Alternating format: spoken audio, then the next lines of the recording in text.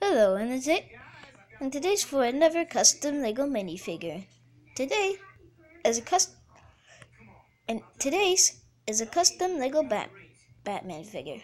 It's a custom scuba bat figure.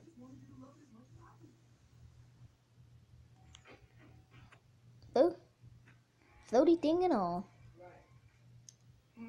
It even has the gat. It even has the hydro tank. Which keeps him to breathe. This isn't based off any specific Scuba Batman. That's why it's a custom build. Scuba mask is the scuba tank is is just a regular piece, and the mask is also a regular piece. Since nobody's of using it right now, not even Batman, there's a white pulp pole on where the head was supposed to be.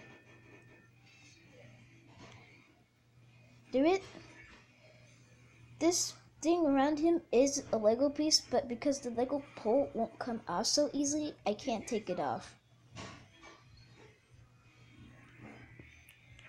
Today was another custom custom video, but also a short one. Sonicman26 out. See ya.